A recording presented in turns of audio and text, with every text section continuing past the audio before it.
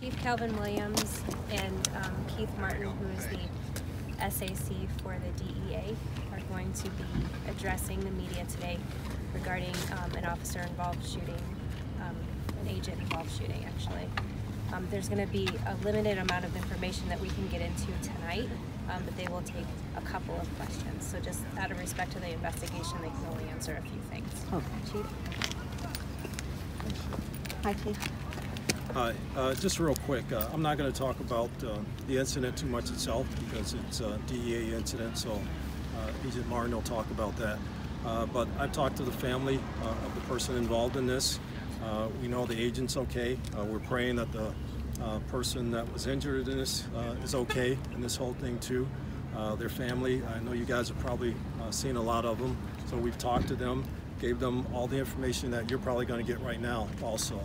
Uh, you know, I just asked the family, you know, there's a process here that goes on and that there are options within that process and for them to choose the right options as we go forward in this investigation and that we, you know, the main thing that we should do is pray for their loved one uh, to be okay. Uh, but the incident did happen here behind us. Uh, it was an operation uh, that was conducted here and, you know, uh, the shooting happened. I'll let Keith Martin get a little bit into, you know, that part of it. But again, uh, you know, we're here to support the DEA. Uh, of course, we're part of a task force that they're on, uh, that they run.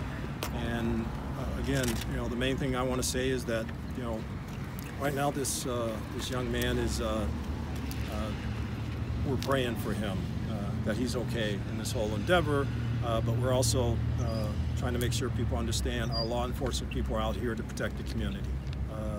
Regardless of what happens around the country, the people here in Cleveland are out here to protect our community and keep people safe. And when guns uh, come in, become involved in things, you know, there, there's always a possibility of things like this happening. So I'll, I'll leave it at that, and uh, I'll let the Special Agent in Charge Martin kind of address any other things you have. Okay. Thank you, Chief. Good afternoon. Hi. Uh, Today, DEA agents had an operation going on in this area. Uh, We believe unrelated to the operation, uh, two subjects approached one of the DEA agents brandishing a weapon, uh, at which time the agent felt threatened and uh, there was gunfire exchange. Um, The subject was hit. Uh, The agent was not struck by any gunfire, and that's all I have at this time. Was Were the, they in uni- any type of uniform or were they plain clothes? So they were plain clothes, they were undercover agents. Did the individual who was shot fire any shots That at I, DA? I don't have that information at this time. Do you know if he had his gun out or if he had it on his waistband or I don't have that information at this time. I can only tell you that there was a gun brandished. was this part of like Operation Legend or any of that? No, it was not. Okay. Are you able to elaborate on how he, uh, the victim, was taken to the hospital? So immediately after uh, the individual was shot, our agents rendered assistance, uh, and uh, I believe we had a uh, um, one one of the agents uh, packed the wound, and he was taken to the hospital. When you say approach, do you mean uh, in a threatening way to rob, to, to knowing that they were agents, or how? So I, again, at this time, I don't have information on that, other than it may have been a carjacking or a robbery. We just don't know. Are you So were they in the car? No, the the agent, Mm-hmm. the agent was in the car. Two two uh, individuals approached him, brandishing one brandishing a weapon, uh, and the agent jumped out of the car and gunfire.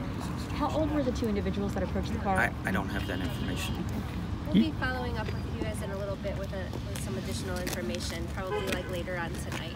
okay. Okay? That was the white car we saw, Are, obviously. are both agencies investigating? So Cleveland Division of Police is investigating.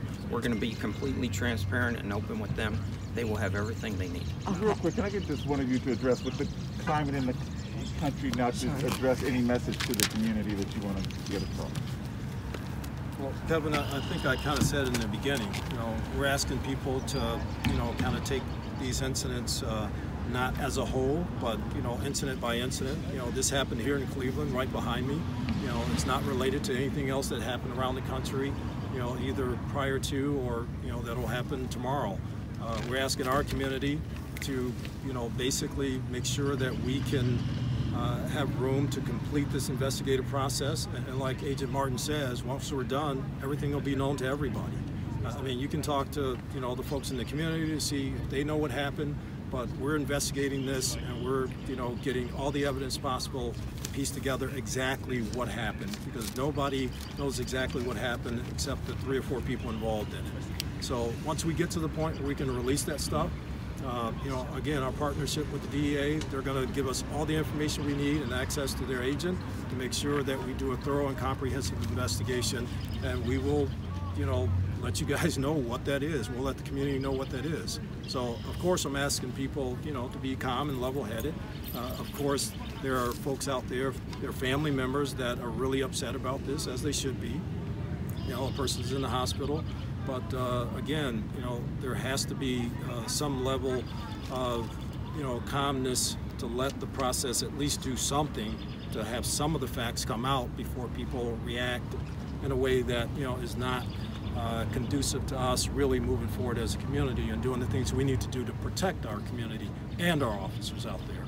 And and that's what, what this is all about. It's protecting the community and the officers that serve day in and day out. And when things like this happen, we got to get to the bottom of what happened. And then if there are mistakes on either side, then we got to make sure those mistakes don't happen again. Not saying that there were, but uh, you know, we just have to make sure that uh, folks understand that you know there's a process that we're going through. It's not going to be a dragged out, months long, three, four, five, six month. But we're going to do our due diligence to get things done in a timely fashion, and then we'll let the community know exactly what happened. All right, thanks, guys. Thank Thank you. you. Thank you.